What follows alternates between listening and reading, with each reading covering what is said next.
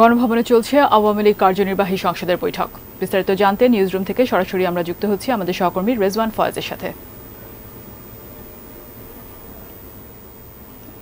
রেজওয়ান, আমরা যতটুকু জানি যে আওয়ামী লীগ কার্যনির্বাহী সংসদের বৈঠক হচ্ছে, এ ব্যাপারে আসলে আপনার কাছে আর কি তথ্য আছে? জি সন্ধ্যার দিকে, সন্ধ্যা ছটার সময় আওয়ামী লীগের কার্যনির্বাহী সংসদের বৈঠক শুরু হয়েছে গণভবনে। এবং এই বিএনপির টানা হরতাল, অবরোধ, যে কর্মসূচি আছে সেগুলো এবং আগামী কয়েকদিন পরে হয়তো আগামী জাতীয় নির্বাচন তফসিল ঘোষণা করা হবে। সব কিছু মিলে সব কিছু মিলে আওয়ামী লীগের এই কার্যনির্বাহী সংসদের বৈঠকটি কিন্তু খুবই গুরুত্বপূর্ণ। এবং এই বৈঠক থেকে অনেকগুলো হয়তো কমিটি গঠন করা হবে ইস্তেহার কমিটি যা আছে ইস্তেহার নিয়ে আলোচনা করা হবে সব কিছু মিলেই গুরুত্বপূর্ণ। বৈঠকের শুরুতে একদম প্রধানমন্ত্রী শেখ হাসিনা বক্তব্য দেন। তখন গণমাধ্যম কর্মীদের সেখানে প্রবেশাধিকার ছিল, তারা গিয়েছেন, আমরা লাইভ করেছি সব কিছু করেছে। তো তখন প্রধানমন্ত্রী শেখ হাসিনা যে বক্তব্য, সেই বক্তব্য তিনি বিএনপির এই আন্দোলনের বিষয়টি বলেছেন। তিনি বলছেন যে আওয়ামী লীগ সরকারের অধীনে বর্তমান দেশের মানুষ কিন্তু ভালো আছে, শান্তিতে আছে। তিনি এই অবস্থায় আওয়ামী লীগের যে উন্নয়ন কর্মসূচিগুলো আছে, সেগুলো সামনে তুলে নিয়ে নিয়েছেন। যে মানুষ ভালো আছে, কিন্তু এই মানুষকে যখন দেশে শান্তি বিরাজ করছে, তখনই দেশে অশান্তি তৈরি করার জন্যই আসলে বিএনপি আবারও এই আগুন সন্ত্রাস শুরু করেছে, আগুন নিয়ে খেলা শুরু করেছে বলে তিনি মন্তব্য করেছেন। এবং তিনি বলেছেন যে যারা এই আন্দোলনের নামে এই আগুন সন্ত্রাস করবে কিংবা মানুষের ক্ষতি করবে।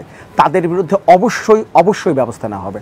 এই ক্ষেত্রে তিনি বলেছেন যে বিএনপির নেতাকর্মীদের গ্রেপ্তার নিয়ে অনেকেই হয়তো আপত্তি তুলছেন, অনেকে নানা ধরনের আপত্তির কথা বলছেন যে তুলছেন, কিন্তু প্রধানমন্ত্রী বলছেন যে না।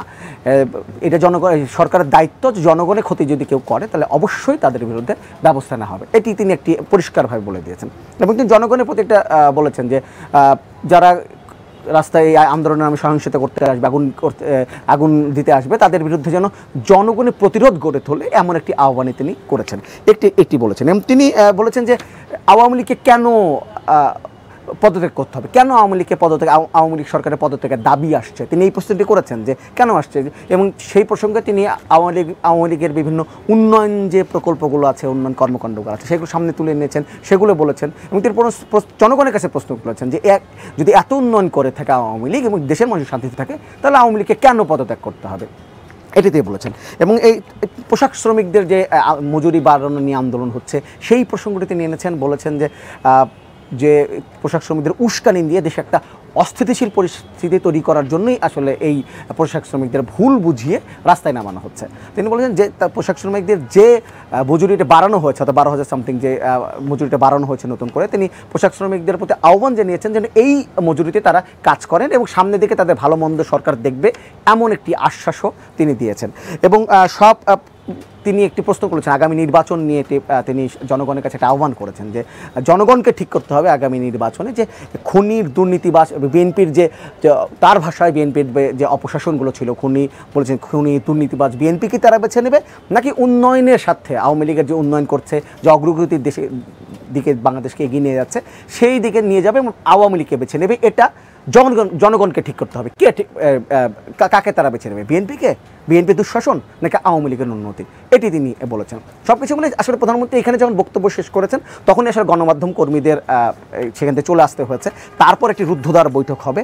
সেই রুদ্ধদ্বার বৈঠক এখন চলছে আর কি, যে বৈঠক কিছু কথা বলছেন। সেই সেই বৈঠকেই আসলে সিদ্ধান্ত বিভিন্ন বিষয়গুলো সিদ্ধান্ত নেবে। এবং সেই সিদ্ধান্তগুলো হয়তো বাইরে এসে, অর্থাৎ গণভবনে বাইরে এসে একটু পরে আওয়ামী লীগের সাধারণ সম্পাদক ওবায়দুল কাদের, তিনি হয়তো গণমাধ্যমকে বিস্তারিত জানাবেন। এই মুহূর্তে গণভবনের বাইরে আমাদের সহকর্মী আমিনুল ইসলাম আছেন। তো আমিনুল কাছে যেতে চাই, আমিনুল, আপনি সেখানে কি অবস্থা দেখছেন, বা আপনার কাছে বৈঠক নিয়ে কোনো খবর আছে কিনা?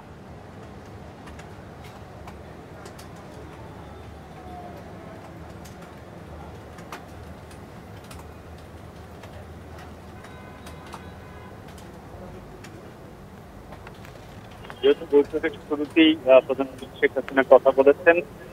এরপরেই এই কার্যনির্বাহী কমিটির বৈঠক শুরু হয়। আওয়ামী লীগের কার্যনির্বাহী বৈঠকটি আজকে বেশ গুরুত্বপূর্ণ বলা চলে, কারণ নির্বাচনের আগে যে উপকমিটি গঠন হবে, বেশ কয়েকটি উপকমিটি, নির্বাচন পরিচালনার উপকমিটি, এবং একই সঙ্গে এই বিএনপির এবং তার সমমনা দলগুলো টানা অবরোধ, সেই সেই ক্ষেত্রে আওয়ামী লীগের দলীয় অবস্থান কি হবে বা তারা কীভাবে সেই দলীয় ভাবে এই বিরোধী শক্তিকে মোকাবেলা করবে সেই বিষয়গুলো নিয়ে যেহেতু আলোচনা হচ্ছে, সে কারণে আসলে বৈঠকের আলোচনা এখনও চলছে এবং সেটি আরও কিছু সময় চলবে বলে আমরা জানতে পেরেছি। এবং এই বৈঠকের পরে দলের সাধারণ সম্পাদক ওবায়দুল কাদের আরও বিস্তারিত সেই বৈঠক সম্পর্কে জানাবেন। আমরা সেই অপেক্ষায় রয়েছি। বেশ কিছুদিন পরেই বলা চলে অনেকদিন পরেই, একটা তিন মাস পরে কার্যনির্বাহী কমিটির যেহেতু বৈঠক হচ্ছে এবং নির্বাচনের আগে আসলে আর খুব বেশি সুযোগ নেই এই আওয়ামী লীগের কার্যনির্বাহী কমিটির বৈঠকে বসার। এ কারণে তারা নির্বাচন পরিচালনাটা একটি গুরুত্বপূর্ণ এবং কিছুদিন পরেই নির্বাচন পরিচালনার সমাবেশের অংশ নিতে তারা মাঠ পর্যায়ে শুরু করছেন। প্রধানমন্ত্রী শেখ হাসিনা, তিনিও সিলেটের এই সমাবেশের মধ্য দিয়ে তিনি নির্বাচনী প্রচারণা শুরু করবেন। সে কারণে আসলে সেই বিষয়গুলো নিয়ে বেশ কয়েকটি কমিটি করার পরিচালনা কমিটি এবং সেই বিষয়গুলো নিয়ে এখন আলোচনা হচ্ছে বলে আমরা জানতে পেরেছি এবং এর পরে আর কি বৈঠকের বিস্তারিত আমরা দলের সাধারণ সম্পাদক ওবায়দুল কাদের কাছ থেকে জানতে পারব। জি ধন্যবাদ আমার ইসলাম। দর্শক আমরা দুজনের আলোচনা থেকে আসলে বুঝতে পারছেন যে আসলে মূল কি কি আলোচনা হলো কিছুক্ষণ পরে হয়তো আওয়ামী লীগের সাধারণ সম্পাদক আহ, গণভবনের বাইরে এসে আমাদেরকে জানাবে। তো এই ছিল আমার কাছে সর্বশেষ পরিস্থিতি।